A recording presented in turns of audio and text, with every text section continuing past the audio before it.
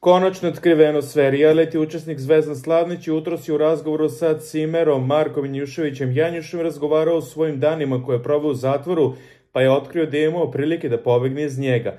Popularni zadrugar poverio se svom Cimeru i priznao mu da je više puta dok je služio kaznu razmišljao o bekstvu. Jesi li pomišljao nekada da pobegneš, pitao ga Janjuš. Mogao sam odatle jer nisam znao da ću toliko da dobijem, rekao je Zvezdan. Svako ko je osuđen ili istine da mu je u glavi da pobegne, nastoji Janjuš. Dobro, uvek je to negde u glavi. Ja sam mogao odatle da pobegnem za 10 minuta, priznao je Zvezdan.